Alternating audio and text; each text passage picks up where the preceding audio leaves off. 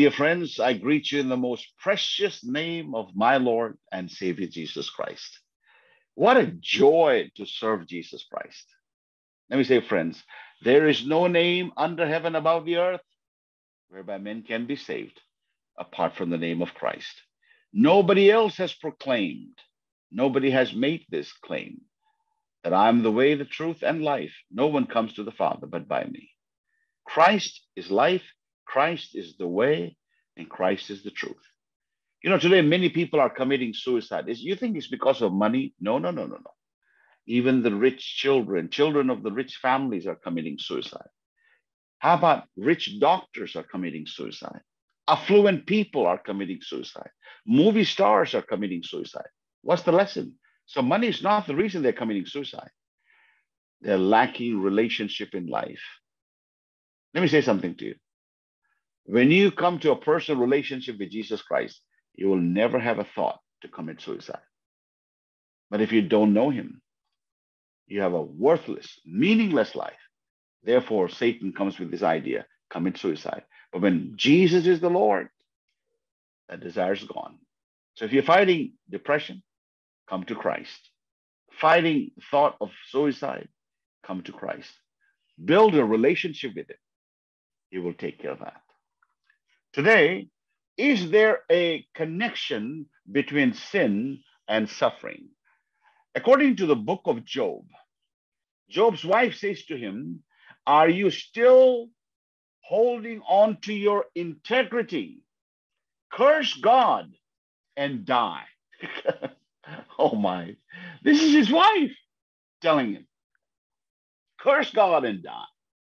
So, what are we talking about? Is there a connection between sin and suffering? You know, many people have asked me over the years, why does a loving God send people to hell? Why does a loving God send people to hell? Well, the question is not correct. The correct question is, why do people choose hell over a loving God? So, with that said, when Job's wife said, Curse God, are you still depending on your integrity? Are you going to still stick to that? This is the reply Job said. You're talking like a foolish woman. Shall we accept good from God and not trouble? Ha. That's the gist of the whole message. Should we expect only good from God and not expect Him to give us trouble? He's the God of trouble, He's the God of good. By the way, you go to any church uh, all over the world, there's a new slogan. I don't know whoever came up with it. God is good all the time, and all the time, God is good. Why don't we improve on that, please? God is God, and all the time, God is God. He's God in the time of trouble.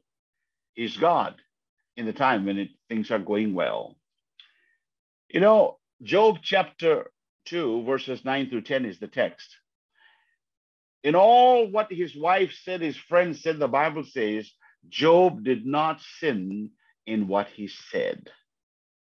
When calamity struck the house of Job, his friends came at great trouble and inconvenience to comfort and counsel him. Job's friend held to the traditional thought of their day, which in many respects are still the thought of our day. Even in 2023, people still think like the friends of Job. They believed that God always rewards righteousness. They believe that God always punishes wickedness.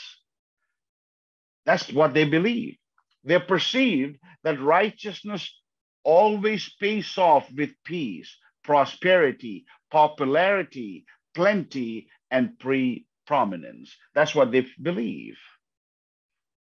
Jesus, Job's friends saw God as a judge. They understood him somewhat in terms of his being in prosecuting attorney or as a policeman. They believed that God to be an executioner. They believed God's law was self-operating and self-executing.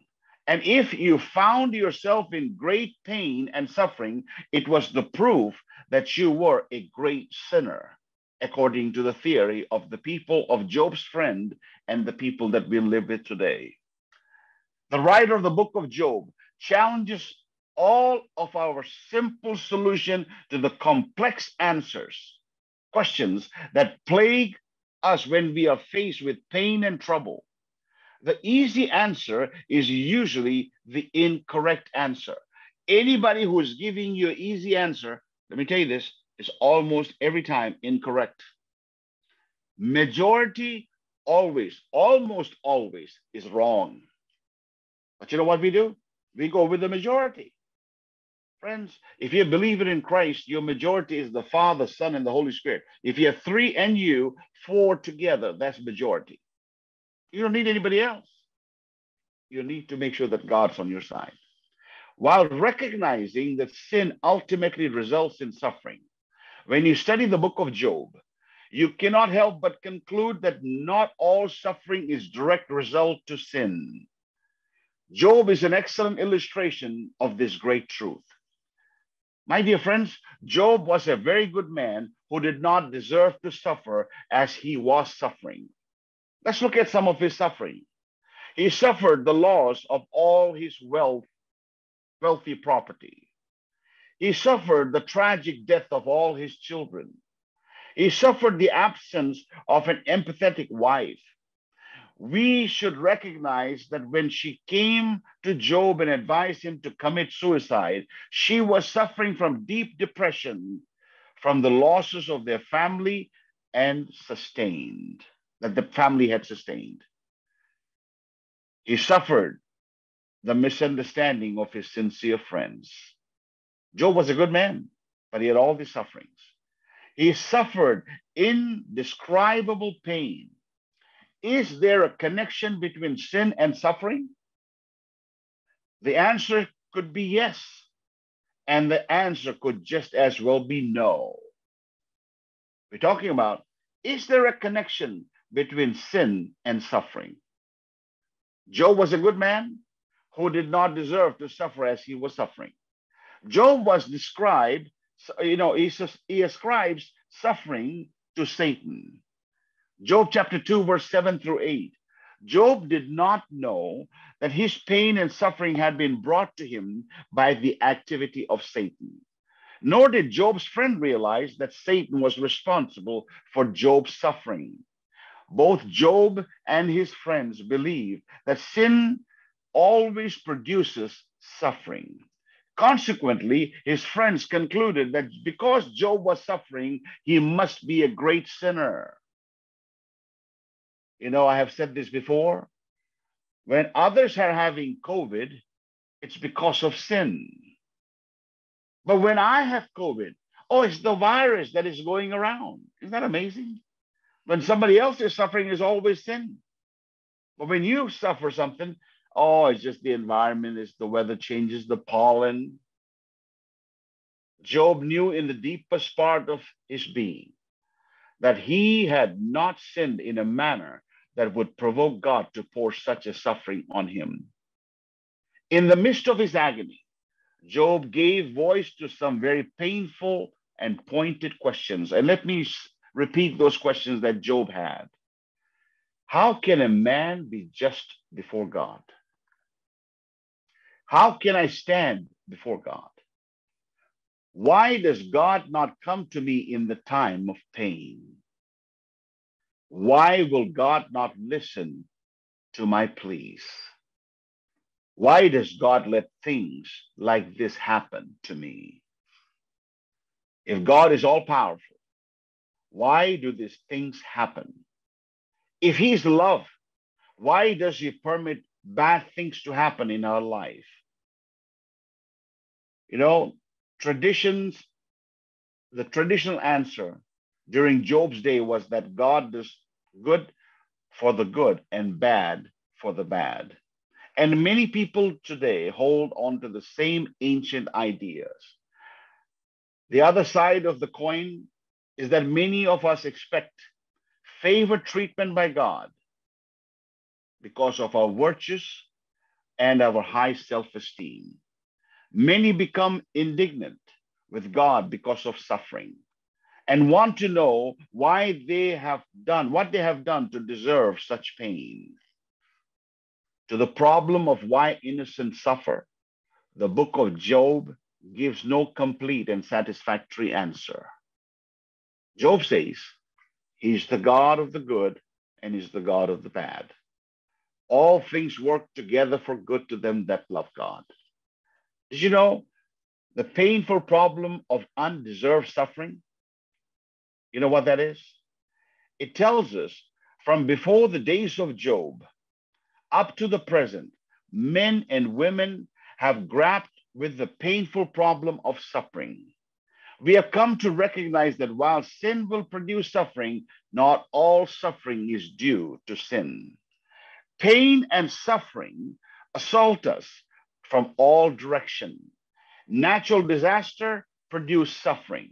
Many suffer because of historical decision made by the different countries of the world.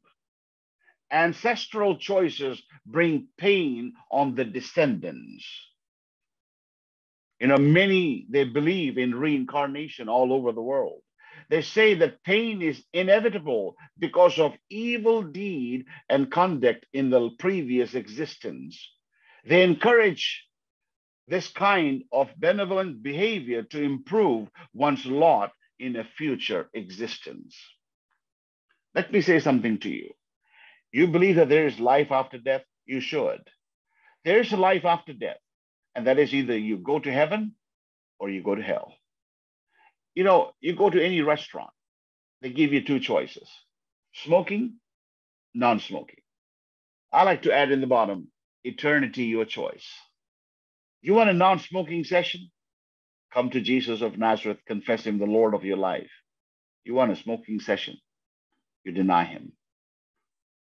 Friends, there is no previous birth, and you don't come back to this earth. You know, a lot of people say, Well, I'll die and come back as a monkey one day. Seriously? Look at the population of the people. The number of people are growing, the number of animals going down. So something's missing in this. You don't come back as anything. After death, you stand before God. It's a judgment day. So, you think that because something you did in the last birth, that is why you are suffering today? No, no, no, no. Whenever there is suffering, you need to ask a question Is there a sin in my life? Is there direct disobedience to God in my life? I must always ask that question. Medical science can shed much light on this problem of pain. Only physician can say this. We differentiate between pain and serve a useful purpose and pain that serves no useful purpose. They can differentiate that. Examples of pain that severe that serve as useful purpose are pain in the side indicates appendix. Pain in the back indicate some disc problem difficulty in chewing something, there must be an abscess in the tooth. So those pain are good. They give us warning. Some pain serves no useful purpose. Some have useful purpose. Some have no useful purpose. For instance, a muscle tension headache, you don't get anything out of that. It is a job for the job for the doctor to differentiate between pain and serve as useful purpose of the pain and that is useless, he separates that. Now, we have several choices when we face with the problem of pain. We can ignore it, we can investigate it, or we can do something about the pain. You know, Dr. Norman Geisler, he was a dear friend of mine who is now with the Lord. He said this life that he explained that much pain comes directly from our own free choices. It also comes to us indirectly from the exercise of our freedom. We also experience pain because of free choices of others. We experience some pain because of the good choices that others have made. But in which accidents are involved? Geisler also said attention to the fact that some suffering occurs because of activity of evil spirit. And friends, evil spirits are alive, they are active.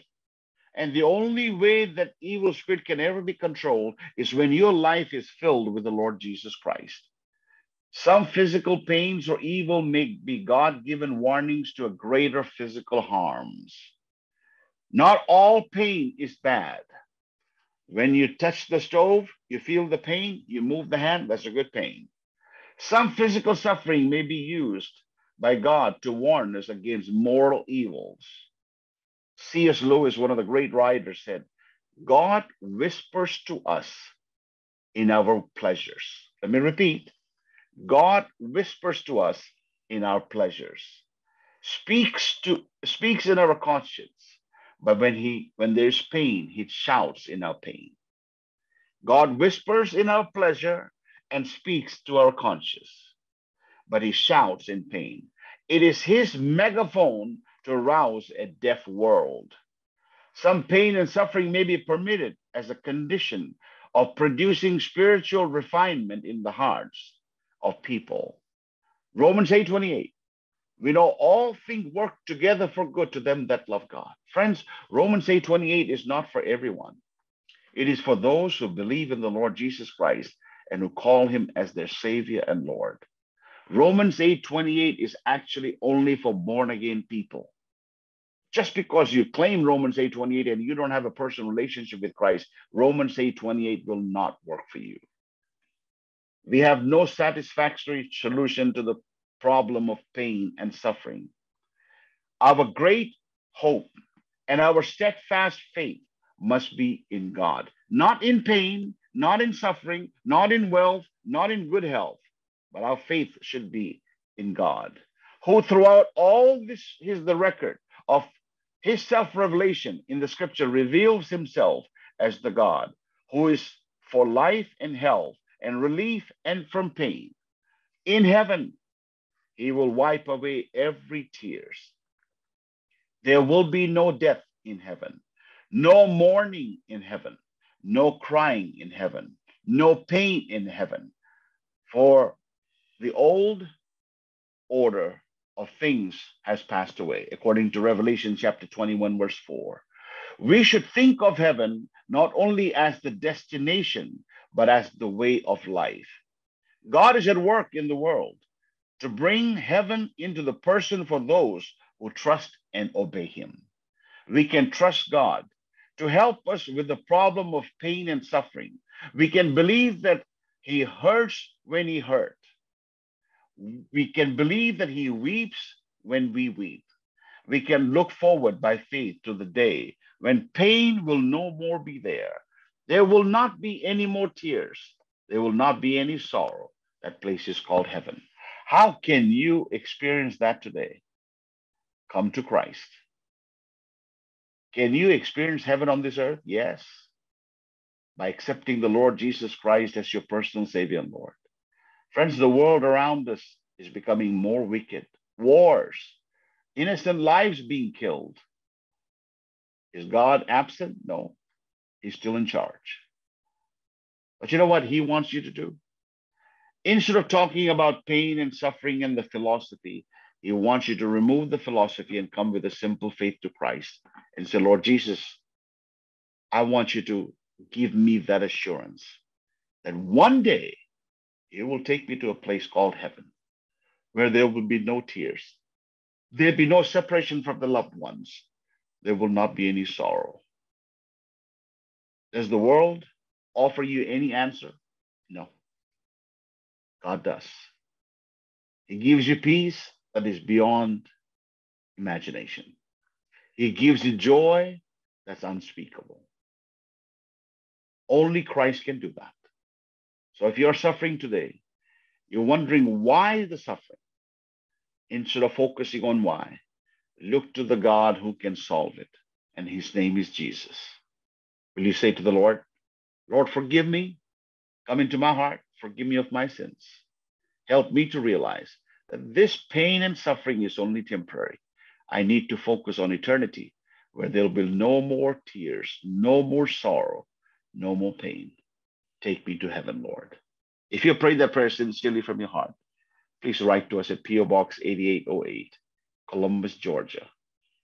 Thank you again. God's really going to bless you if you trust Him fully. Thank you for listening. God bless.